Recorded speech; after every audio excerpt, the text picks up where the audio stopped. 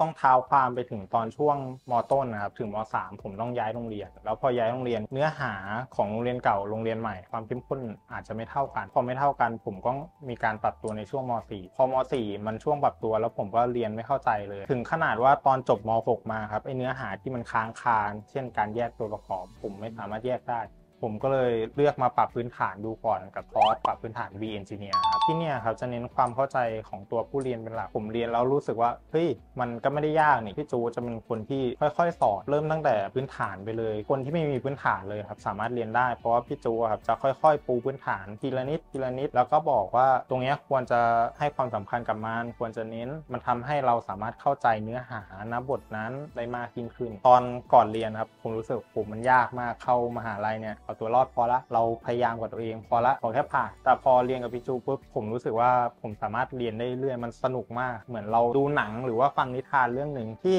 มันจะมีจุดที่ทำให้เราตื่นเต้น เราน่าติดตามเรียนได้เรื่อยๆพี่จูก็จะเน้นว่าเอ้ยจุดนี้สำคัญนะ จุดนี้ต้องคอยระวังนะ เราก็จะปรับแก้ไขตามที่พี่จูบอกครับสุดท้ายแล้วครับ นิทานเรื่องนี้ครับเป็นนิทานที่ชื่อว่าแคลคูลัสเรื่องยาว ผลลัพธ์ก็คือทำให้เราครับสามารถเข้าใจได้ในศาสตร์ของคณิตศาสตร์ได้มากยิ่งขึ้นครับ